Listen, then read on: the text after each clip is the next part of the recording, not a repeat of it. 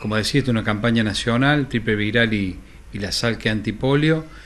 en el cual comenzó el primer día de octubre hasta se extiende hasta el 13 de noviembre y bueno, como decía, no estamos con esa realidad en el cual tenemos vacunados a nuestros niños, que son aproximadamente un término medio de 1.400 chicos, desde 13 meses a 4 años cumplidos, y en el cual nos llegamos al 50%. Eh, desde inicio eh, considero que se ha hecho una, la difusión en tiempo y forma, eh, hemos, hemos dado todo el tema de difusión y el conocimiento para todos los papás puedan vacunar a nuestros niños, es obligatorio y bueno, hasta acá estamos, estamos muy flojos en, la, en el tema de la estadística. esto se inició inicialmente lo, que es 3-4 años, fuimos a vacunar en terreno, ahí ya nos encontramos, cuando decimos en terreno, en los colegios eh, nos encontramos con la mitad de las autorizaciones que se, que se mandan para que los papás tengan, tengamos el consentimiento de los papás. Bueno, siempre encontramos la mitad, eh, a veces algo un poquito más, pero siempre la mitad, lo cual, eh, bueno, aduciendo que por ahí lo iban a traer después acá al, centro periférico, eh, a los centros de salud, y bueno, eso no está pasando, estamos realmente preocupados.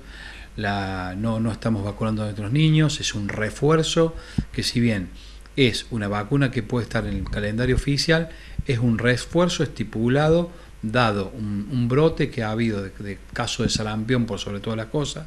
en países limítrofes y en el cual no queremos que suceda acá. Y es por eso que se está establecido este refuerzo de, de tipo viral y SALC eh, para que eso no suceda. Así que bueno, a raíz de esto, de que no, no, teníamos una respuesta, eh, eh, te vuelvo a repetir, notamos eh, gente, papás que estaban indecisos, algunos chiquitos estaban, estaban enfermos. Eh, empezamos a trabajar en terrenos, juntos sacamos todos los, datos del registro civil y estamos concurriendo con un equipo de vacunadores en terreno, pero bueno, la, primer, el primer día, eh, bueno, de, un radio que habíamos estipulado en, en, zona de Sabatini, sobre 210 chicos, bueno, en el primer día pues, visitamos 57 domicilios y bueno, vacunamos el primer día 6. El resto, te vuelvo, en, no, en algunos domicilios no había gente, en otro vuelvo a repetir papá indeciso, otro chiquito enfermo, pero bueno, eh, creo que tenemos que ser responsables con nuestros niños. Cuando la vacunación es obligatoria es porque hay un estudio y por algo es. No queremos sorpresa y sorpresa desagradable de algún rebrote de alguna de esta, de esta patología que prácticamente se consideraban eh, hasta erradicadas algunas Así que bueno, acudimos, nos queda esta semana y la otra en que todos los papas, por favor, concurran a los centros de salud, que Centro Materno, hasta la, hasta la una de la tarde, Sabatini y Villa Argentina, que aclaro que Villa Argentina, debido a las remodelaciones que se están haciendo, lo hemos trasladado por un tiempo acá al Alvear 1350, donde estamos vacunando COVID. Eh, así que bueno, los esperamos, por favor, los esperamos a todos para que podamos cumplir eh, vacunando a todos nuestros niños en su totalidad. Bueno, es como ir, porque antes cuando éramos chicos nosotros, nuestros padres nos llevaban directamente, nos vacunaban y no ponían ningún obstáculo, no nada, absolutamente, íbamos a vacunarnos. ¿Por qué ha cambiado esa situación? ¿Han hecho algún análisis? La verdad que es como es llamativo, nos preocupa mucho y lo pensamos mucho y es por eso que esto de que tuvimos que salir como una cuestión nuestra, espontánea, de que no se nos estaban dando los porcentajes, la cantidad de chicos y tuvimos que salir, como decimos nosotros, a buscarlos. Eh, por lo que dice la gente y pensar, bueno, hay, hay, te voy a repetir, papás que dicen, no, voy a ver, voy a esperar,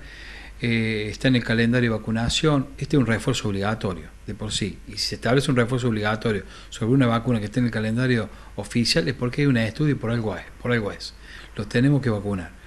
Eh, bueno, toca que ahora hay muchas virosis y hay muchos chiquitos que están enfermos, lo cual hay que esperarlo, pero motivos puntuales valederos realmente no, no, no, encontramos. Eh, es esto de, la indecisión, de la duda, por sobre todas las cosas, eh, y que, que, bueno, que, que, no nos parece y que bueno, acudimos, que van a recapacitar y que,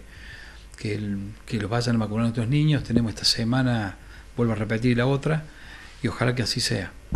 Bueno, te quería consultar si no hubo ningún caso en Marco Juárez, que hay mucha gente que viaja, que se traslada a otros países de viruela símica, si han tenido alguna referencia al respecto, ¿Y cómo están los números del COVID hoy? No, no, no, no hemos tenido reporte de viruela. Eh, hasta el momento no, no ningún caso. Y el, y el tema del COVID hoy, bueno, eso, eso fue otro tema en el cual, bueno, si bien los casos hoy prácticamente están controlados, el tema de cuarta dosis, eh, prácticamente la gente ya no se vacuna más, ya tenemos información, eh, ya nos llegó todo el, protocolo para un tercer refuerzo o quinta dosis, que todavía no está, pero bueno, es para que nosotros, el equipo sanitario, ya nos estemos informando, porque en cualquier momento se va a ofrecer la, quinta dosis que también deberíamos cumplir. Así que, bueno, e, es el estado hoy, el estadio hoy del COVID. Hoy acá en, Marco Juárez, digamos, los casos están controlados, no hay internaciones significativas graves por el tema COVID. Eh, bueno, y esperemos que, así sea y esperemos que la gente también en este tema se vacune, la gente que no cumplió con, con cuarta dosis debería hacerlo también. Debemos estar preparados con, con esto, con el plan de vacunación COVID completo, no olvidando nunca de todo lo que hemos pasado. Eh, así que bueno, también en este tema es que estamos con los porcentajes bajos a nivel nacional eh, y bueno, eh, acudimos a la conciencia de la gente y que cumpla con los esquemas de vacunación COVID también.